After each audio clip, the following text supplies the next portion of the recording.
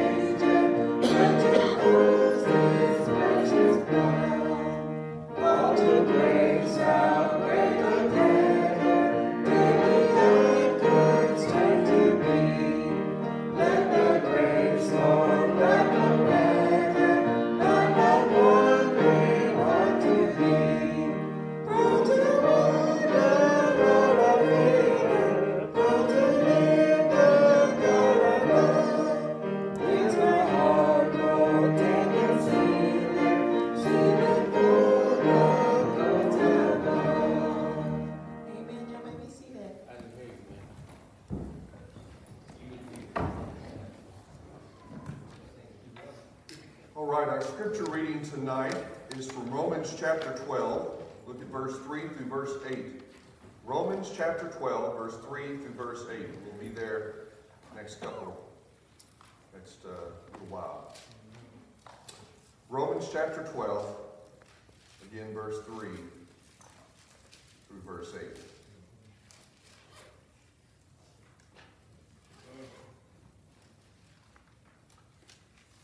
For I say, through the grace given to me, to everyone who is among you, not to think of himself more highly than he ought to think, but to think soberly, as God has dealt to each one a measure of faith. For as we have many members in one body, but all the members do not have the same function, so we, being many, as one body in Christ, and individually members of one another, having then gifts differing according to the grace that is given to us, let us use them. If prophecy, let us prophesy in proportion to our faith. Our ministry, let us use it in our ministry. He who teaches in teaching, he who exhorts in exhortation, he who gives with liberality, he who leads with diligence, he who shows mercy with cheerfulness.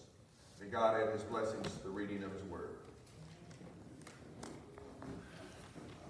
We're going to go back to when we were kids to sing some of the cool songs that I just continue to love today. So let's stand and sing 31, and then we're going to flip over to 23 and sing that one a cappella. So 31 and then to 23.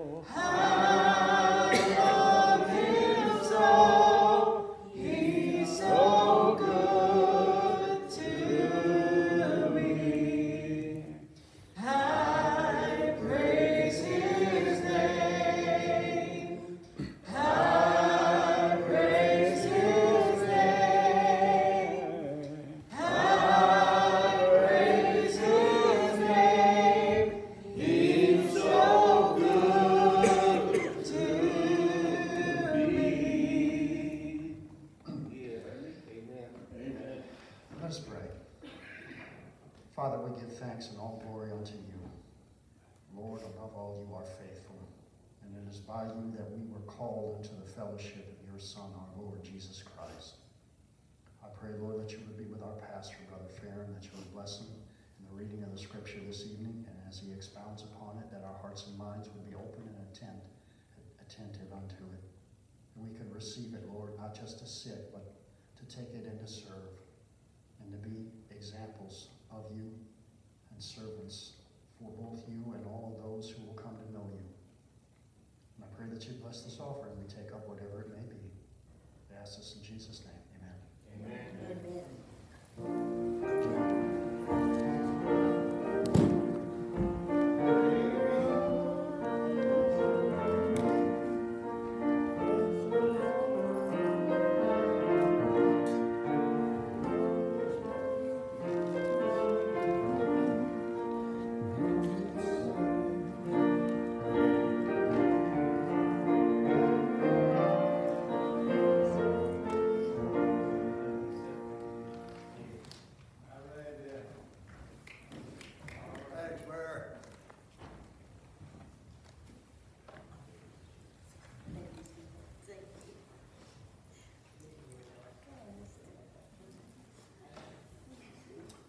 Right, we have been uh, talking all of this year about the Holy Spirit, and uh, we've been jumping around, hitting a lot of different passages and, and trying to set the tone for all of this. And from here on out, we're going to be looking at these individual texts as we usually normally do. And uh, we're going to be dealing with verse 3 through 8 in the book of Romans of chapter 12 over the next uh, couple of weeks, and then uh, we'll uh, go on from there. But we will be talking about the gifts of the Holy Spirit and the distribution of the gifts of the Holy Spirit. Before now, we've seen the essence of the Holy Spirit, really, and, and um, we basically were connecting theory to me or you, or but uh, we saw partly in a mystery and partly we have understood. But one of my favorite gifts, in fact, um, is that I've always liked getting uh, gifts. Anybody like, you know, like getting gifts? It's enjoyable? Like when somebody gives you a gift? And when we talk about gifts, we usually talk about gifts. The key to these gifts, and maybe it's uh, maybe your favorite gift is a certain type of thing or a certain type of food or something like that, and uh, or maybe you like just cold hard cash. You like uh, the gift cards that you get to use different places. But the key to both of these type of gifts is that a gift is from someone else. And that means you don't have to pay for it. We're going to see that played out in how we receive gifts from God. And the second issue is that they have a certain measure of freedom to them in that those gifts allow you, especially if you get a gift card or cash or whatever it is, or a check that doesn't bounce or something like that, then, then uh, you get those things and you can use them however you want. And uh, there's a freedom to them. So, in other words, they're not yours. They're a gift from someone else. Someone else worked for it and gave it to you. Okay, does that sound biblical? And also that these have a certain amount of freedom. We're going to see those two principles laid out. Um, we're going to see the first part tonight. Next time I speak, you'll hear, in fact, of the second part. That uh, you're going to have something that is given to you that is not yours. You didn't work for it, but it is yours because it was given to you. And secondly, that you're going to have a measure of freedom with that gift once you receive it. Okay? So, the same will be true when we look at the gifts of the Holy Spirit over the next several weeks. They are specific. In other words, they are sort of fixed, if you will. And it's just like a person does not choose uh, the characteristics that they have, right? You know, you didn't choose your parents, and so that means that you will receive from your parents uh, the, the, from the lineage in which you have. it. You may have gotten your uh, father's eyes and your mother's nose, or your, or you may have gotten the height and your siblings did not, or whatever it is. And uh, there was a time, in fact, in my family, uh, may have been passed up. But there was a time in my family when I was young and before I started to shrink that, uh, in fact, I was the tallest person in my family. And I thought, well, that's, that's quite a gift. But you know, I didn't do anything to receive it. I, I, I, I, just, I just got it. It just came to me, right? I didn't work hard to be six foot two. Now I'm six foot one and two thirds. But I didn't work for it. I simply received it, right? So we see that in the fixed gift of the Holy Spirit. But we also see again a freedom to it. And again, I'm setting this tone that not only for tonight, but for the future. That uh, to be grown and expanded on and uh, to make good or bad decisions with it. In other words, if I was six foot two when I was 20 years old, then I, I, I had to do something with that, right? And uh, if I had uh, beautiful eyes when I was, at, or if you had beautiful eyes, or if you had beautiful hair, the question is, what are you going to do with that beautiful hair? Are you going to cut it off short? Are you going to make it long? Are you going to cut it, comb it from the side or in the middle? Or all of those things. In other words, you give, you are given certain things that you had nothing to do with. But then once you have those things, you are responsible for those things, right? And so, I think we're going to find out that that's how it works with the Lord too. Even more so, we see it with salvation.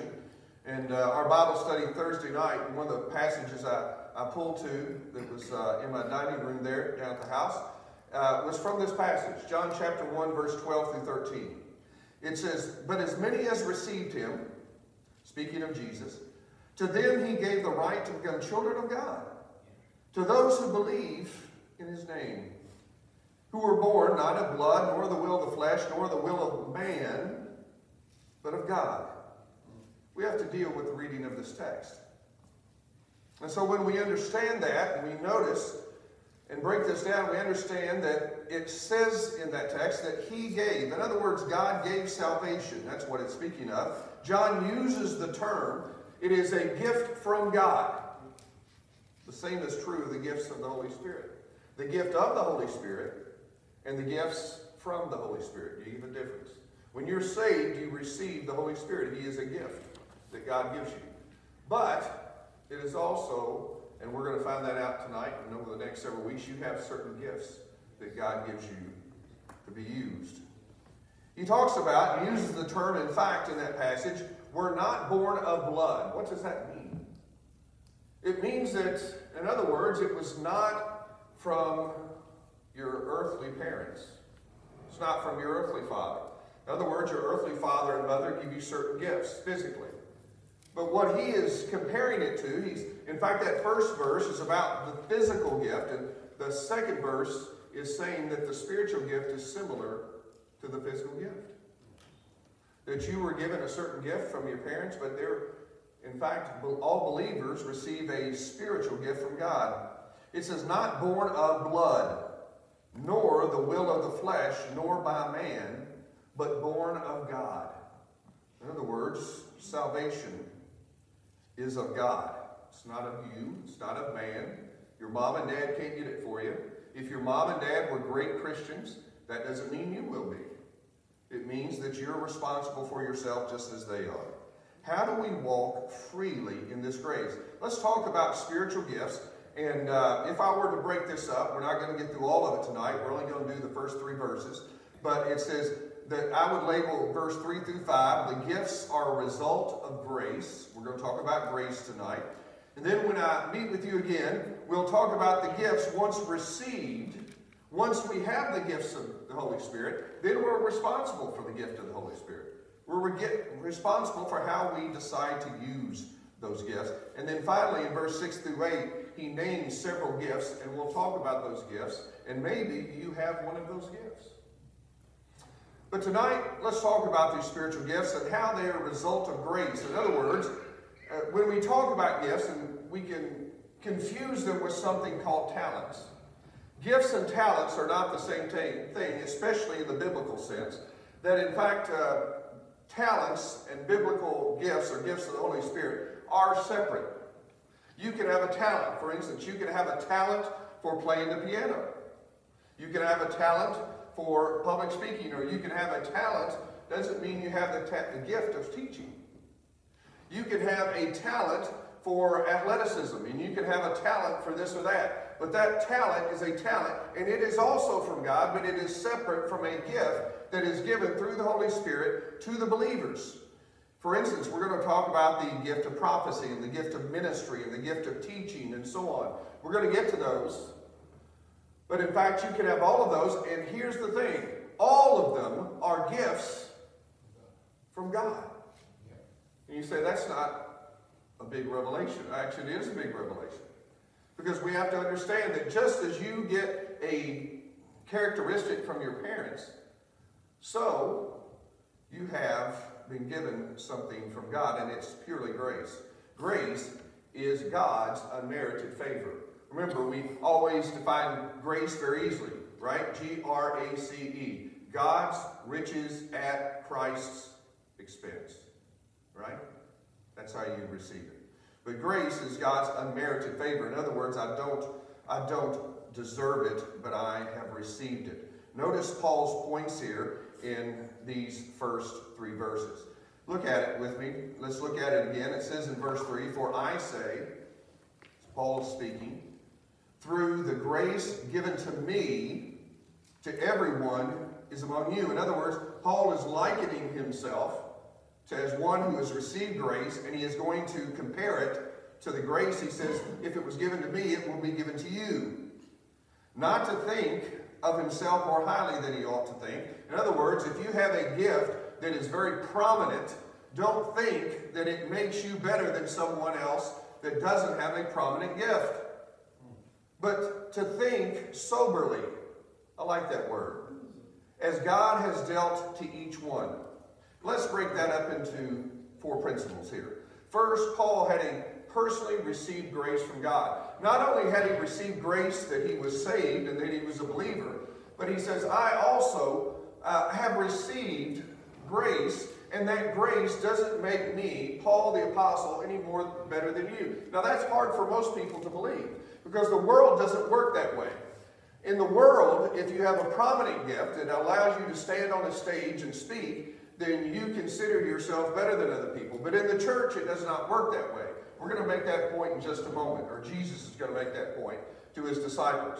We often think that if we have a prominent gift, that we then are better than others. That's how the world thinks. Jesus would say this to us tonight, but that's not how you should think. You should realize that if you have a prominent gift, it's not because you are better than other people, but it's because God saw fit to bless you with this gift. And so, Paul is saying that personally I testify of all the grace and all that has come to me. And so when he says the grace that is given to me, he is saying that God has shed his grace upon him. Now, the second principle is that grace eliminates bragging. In other words, it does not matter what gift you have, what position you have, what title you have, that you have to realize that you don't have any place to brag about it. You have no place to boast, they would say. That God's grace given to me, thus he gets all the glory. Now I want you to turn. I told you I was going to let Jesus teach us this tonight. And so I want you to turn in your Bibles to Mark, the Gospel of Mark, chapter 10. And there is a conversation going on in Mark chapter 10 that uh, the disciples are having, and they think they're having it, and Jesus does not know what they're talking about. And so after they have this discussion, their little argument breaks out about who is going to be the greatest in the kingdom of heaven. There were 12 of them, the 12 disciples, you know them, and they were having a discussion about who would sit next to Jesus and who would be considered great. And in fact, some family members even got in on it. And uh, they were all arguing who's going to be the first in command behind Jesus. Now, of course, the problem of this, and you may have picked it up, is that this is, again, not an argument that a Christian should have. And so in Mark chapter 10, we're going to start in verse 35. We're going to read all the way so we can get all the context through verse 45. Mark chapter 10, verse 35 through verse 45. Again, I'm reading from the New King James. So uh, if it's a little different, then uh, that's the difference. All right. So, verse 35 Then James and John, the sons of Zebedee, came to him, saying, Teacher, or Rabbi, we want you to do for us whatever we ask. Well, that, was, that was pretty forward, wasn't it? Can you imagine going to Jesus and saying, Jesus, we want you to do whatever we ask you to do? and he said to them, What do you want me to do for you? They said to him, Grant us that we may set one on your right hand and one on the other on your left in glory. In other words, these two brothers came and they said, We want to dominate the power structure that you will create when you become king. That's quite an ask. But Jesus said to them, because it was teaching time, lesson time, who knows that life is about lessons? Jesus said to them, You do not know what you ask. In other words, what he's going to tell them is there's a price to pay for these things. Are you able to drink the cup that I drink and be baptized with the baptism that I am baptized with? Of course, he is talking about the suffering that he's going to be going through. They said to him, We are able. How many think that they knew what they were asking? They didn't know what they were asking. You can see when it when Jesus actually goes to the cross, what does the Bible say? The disciples were scattered like a like sheep without a what? Without a shepherd. So Jesus said to them, "You will indeed drink the cup that I drink, and with uh, the baptism that I'm baptized with, you will be baptized. But to sit at my right hand or my left is not mine to give, but it is for those for whom it is prepared." And when the ten heard it, in other words, the other ten disciples, they began to be greatly displeased with James and John. They may have been saying, Why didn't we think about this first? But Jesus called them to himself and said to him, said to them, You know that those who are considered rulers over the Gentiles lord it over them, and their great ones exercise authority over them. Yet it shall not be so among you. But whoever de desires to become great among you shall become a what? Servant. Say that again. Servant. And whoever of you desires to be first shall be slave of all.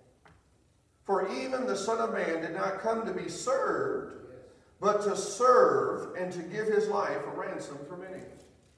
Now that is a very different outlook on greatness, isn't it? The world looks at greatness in a very different way. And so what Jesus is doing there is teaching James and John and the disciples and us exactly what Paul is speaking of when he speaks about being given the gifts of the Spirit. If you have a gift that is prominent, that is seen, that is easily seen, it doesn't mean anything except that God gave it to you, and if he chose not to give it to you, then they, you wouldn't have it. And so it leaves no room for, as we said, what? Bragging. There's no room for bragging. You say, oh, how great Billy Graham was. No, God was great through Billy Graham. And God did not have to give it to Billy Graham. He could have got, gave it, given it to whoever, right? But we are grateful.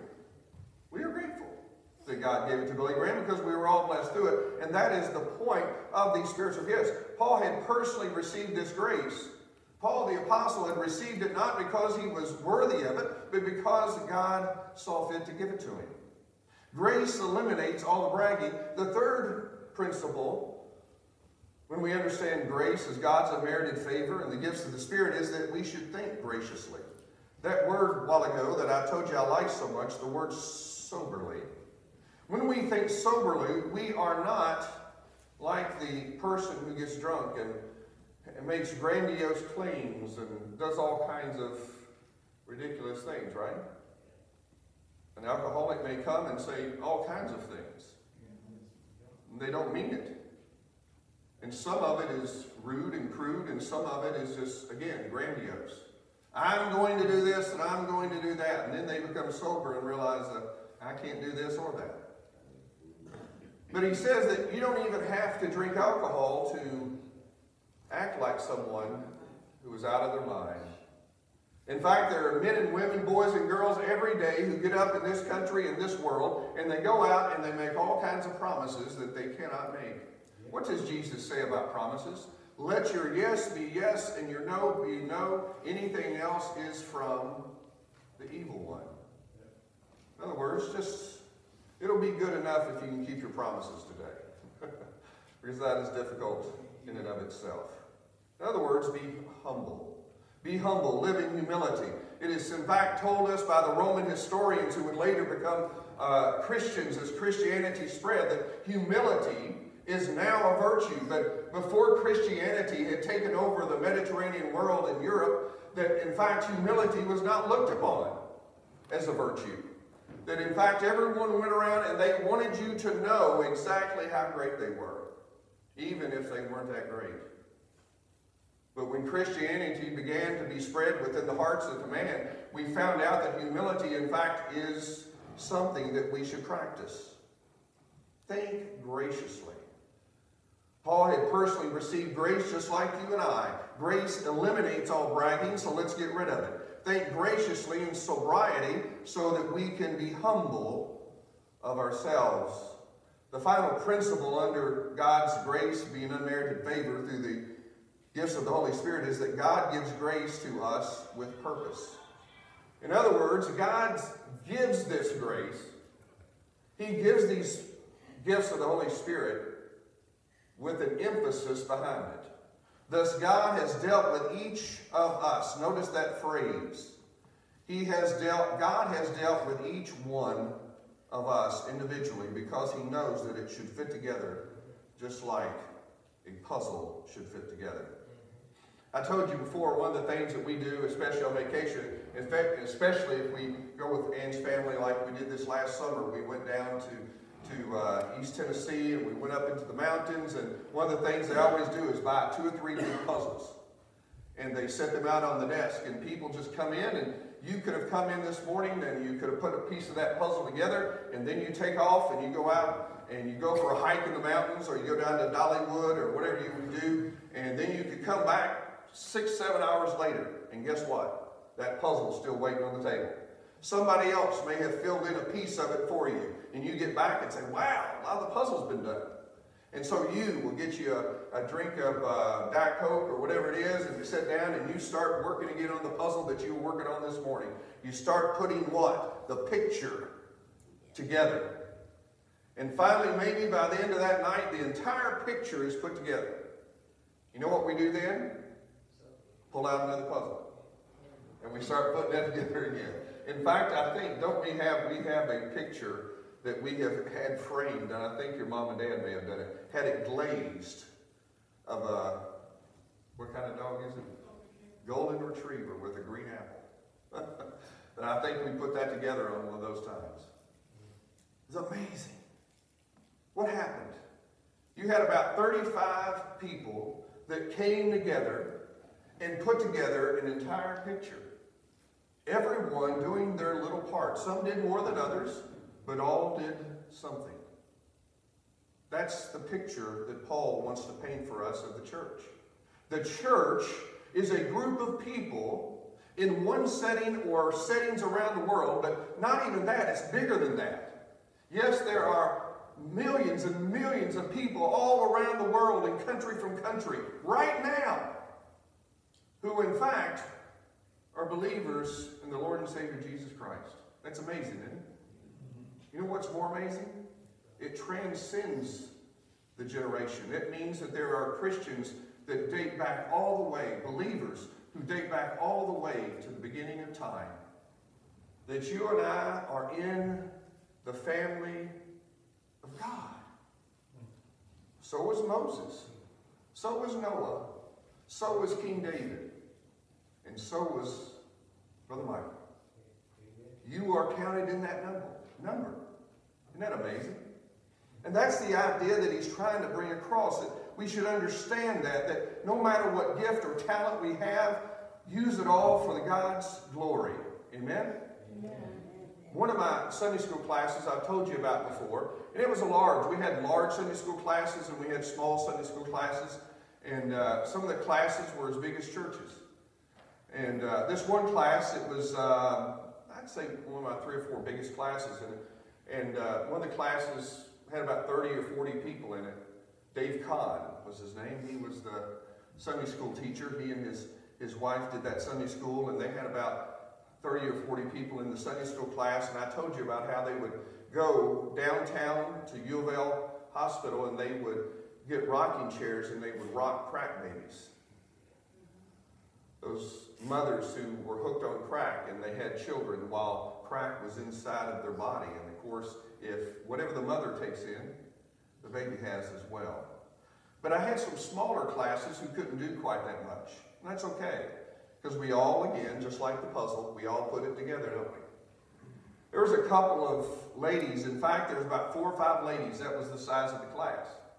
Four or five ladies who couldn't do that, but they found out that every one of them had a gift that God had given them, a talent that God had given them. And that was they loved to sit in rocking chairs, not rocking crack babies, but as they rocked, they would sit in a circle and they would do their Bible study. And when they got done, they began to knit and quilt. And put these things together. And so what they did is they got together with the big Sunday school class, and whenever they would go down to rock the babies, because the babies needed to feel the human touch and their mother couldn't do it. So they were surrogate mothers and fathers for those babies. But when they would do it, they would take these beautiful quilts that this smaller Sunday school class had made, and I mean, they were busy making those wonderful quilts that when they gave the babies back to the nurses, they would give them quilts, and whenever they were good at well enough that they could take those babies home, guess what they got to take with them? A quilt. A quilt. That's right. It's amazing. What a beautiful picture of what the church is supposed to be. it's what the church is supposed to be, isn't it? All people coming together with different gifts and talents that God has produced within us, that we may in fact do all for the what? For the glory of God and for the betterment of brothers and sisters in Christ. You see, that's what Jesus meant when he said what? You, church, are the salt of the earth. Go be salt. Let's stand and pray.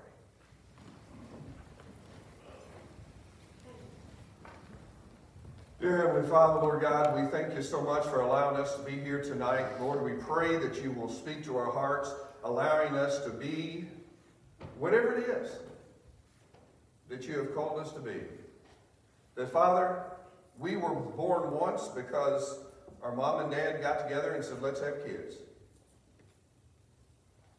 We were born again because the Heavenly Father, who made all of creation,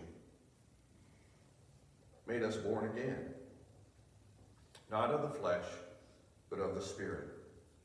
And unless we are born again, Jesus said you cannot inherit the kingdom of God.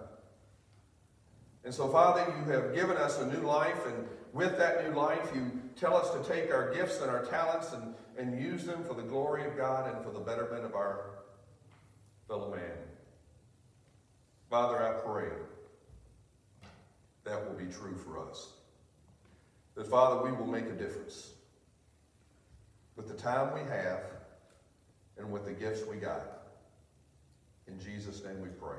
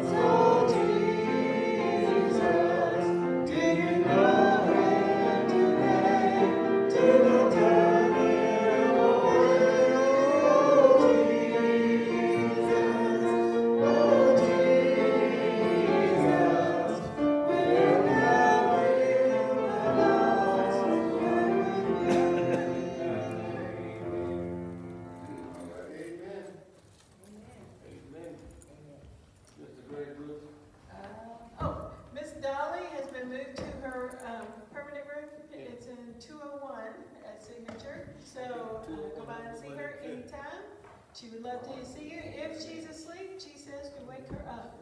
So, um, but I think that's all.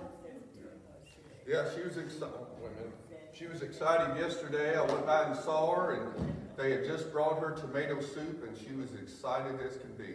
That any, we should all be so excited for tomato soup. That Kendall was excited. All right.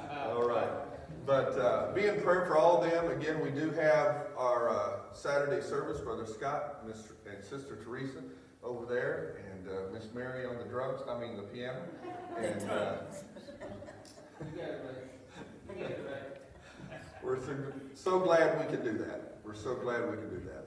All right, let's end uh, in a word of prayer in just a moment. Uh, remember, we're going to have a moment in which we will uh, let everybody exit wishes to exit, and then we're going to have a business meeting about five minutes afterwards. Okay?